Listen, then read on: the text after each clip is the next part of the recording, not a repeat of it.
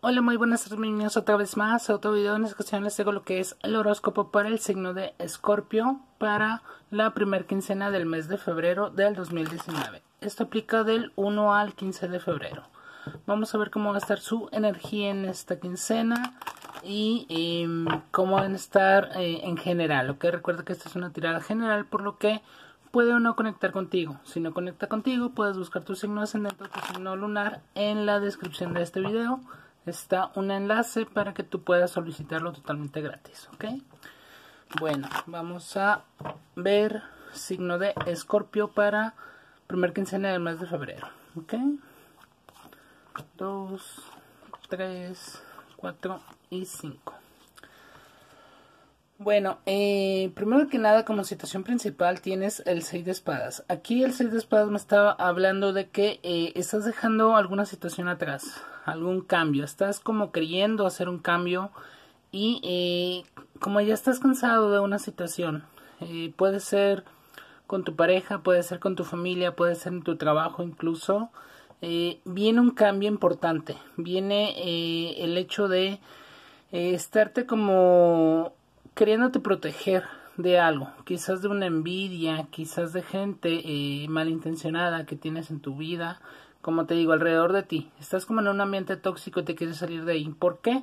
Porque lo que veo es que eh, estás como queriendo hacer un viaje, queriendo hacer eh, un cambio en tu vida, eh, iluminado por por tu inteligencia, iluminado por tu eh, coraje, quizás por tu poder interior, por tu luz interior, como le quieras llamar, y eh, estás como tratando de atravesar un nuevo camino o tratando de eh, iluminarte ese nuevo camino, ¿ok? Entonces, esto es lo que te representa el 6 de espadas, que, eh, como te digo, vas como ya protegido o ya vienes un poquito bloqueado todavía en lo nuevo que vas a vivir porque aquí el 6 de espadas está diciendo que sí vas a comenzar algo nuevo, eh, pero estás dejando muchas cosas atrás. Estás cortando quizás con cuestiones tóxicas, como te digo, con tu pareja, con tu en tu casa, con tus papás, con tu familia, eh, en tu trabajo, en tu escuela incluso,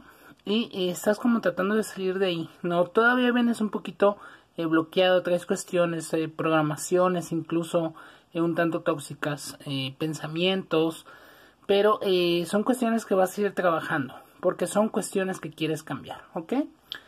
El reto aquí es eh, no dejarte llevar por la opinión de las personas. Aquí veo envidias y aquí veo sobre todo malos comentarios contra ti.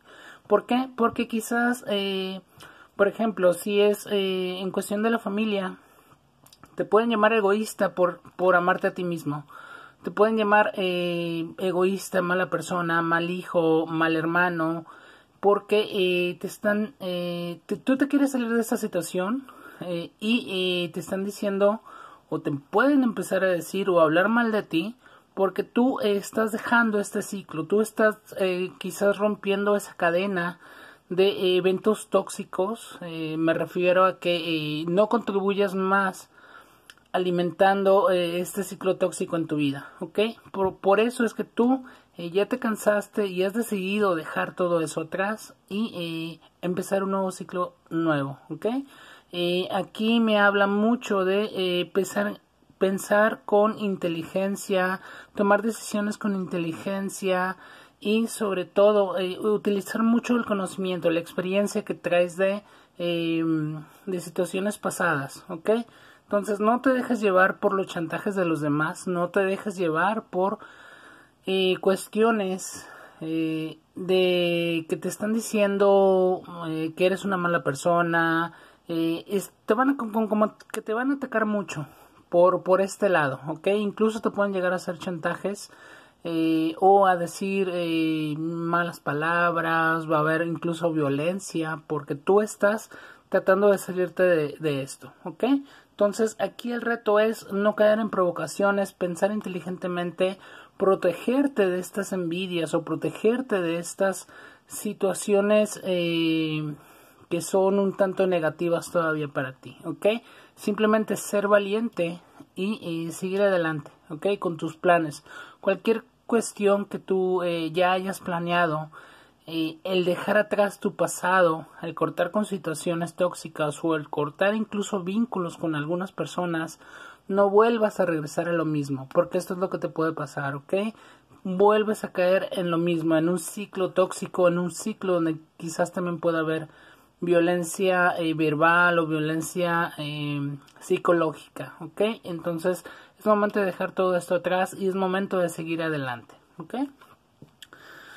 La ayuda, la ayuda tienes el rey de oros. El rey de oros eh, te habla mucho de una estabilidad, te habla mucho de eh, empezar a construir, empezar a materializar, empezar a, tomar decisiones eh, que tengan que ver con, con lo material, como te digo, puede ser un cambio de casa, puede ser un cambio de trabajo, puede ser una estabilidad en tu trabajo incluso, puede ser firmas de contratos, puede ser cuestiones que te hagan tener una vida más estable y que eh, digas, ok, ya no voy a permitir que se esté abusando de mí, ya no voy a permitir que eh, mi familia se aproveche de mi dinero o se aproveche de mi energía o se aproveche de, eh, de mi presencia física, ¿no? aquí también puede entrar la pareja, puede entrar incluso personas de tu escuela, de tu trabajo, donde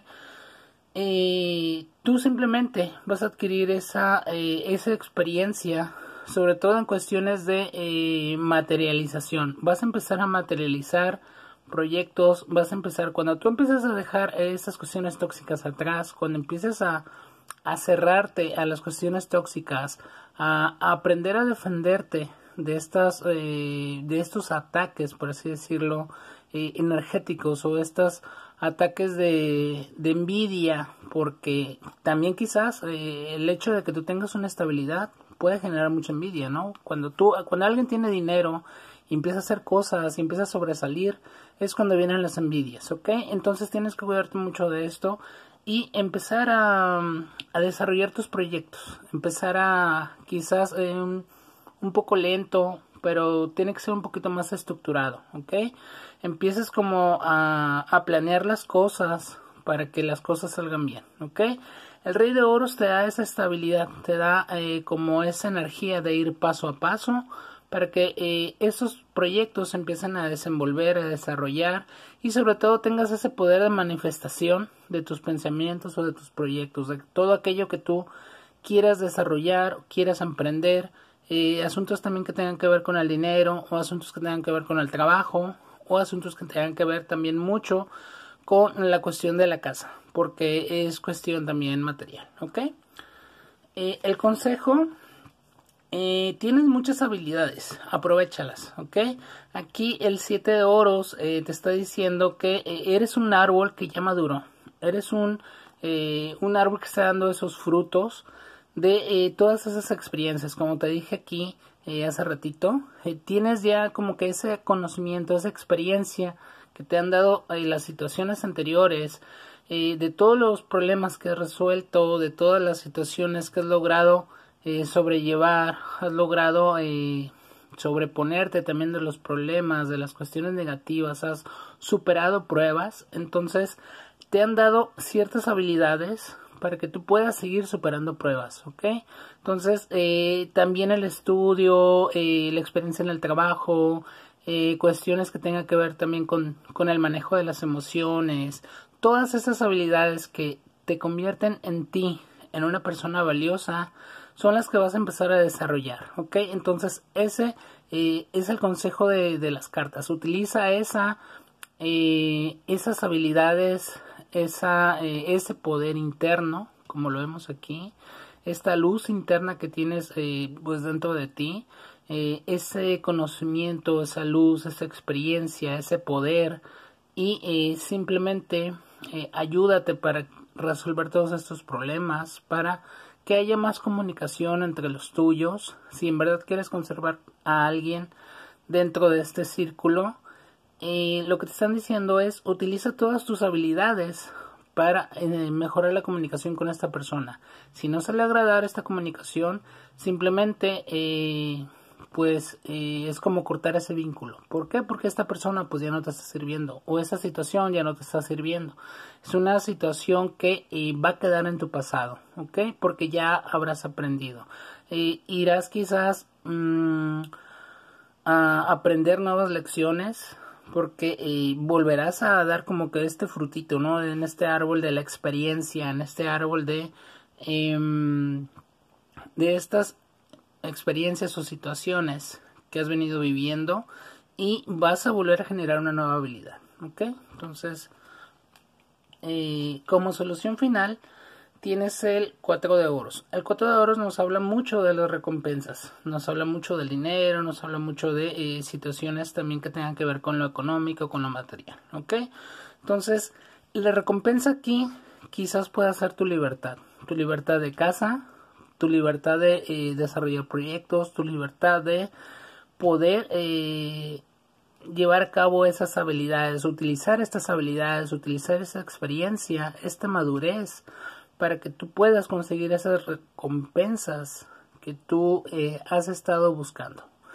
Aquí te están diciendo, deja el pasado atrás, no importa que la gente siga hablando, no importa que eh, quizás algunas personas te hagan chantaje, busca tu propia felicidad, busca tu propio camino, em, busca aquello que te hace sentir pasión, por, por el trabajo o te haga sentir pasión por una persona, te haga conectar mejor con una persona, que haya comunicación, que haya proyectos en conjunto, que haga, haya incluso eh, planes como de vivir juntos.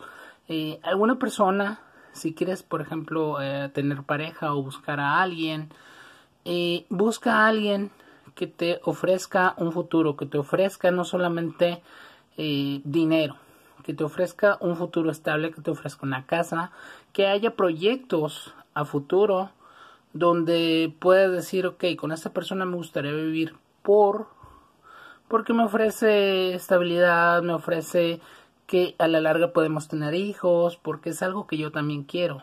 A la larga me ofrece eh, cosas positivas, porque esa persona también tiene los mismos valores que a mí me gustaría tener o tiene los valores que yo tengo. Entonces, aquí debes de aprovechar mucho a las personas que eh, comparten la misma energía que tú. ¿Ok?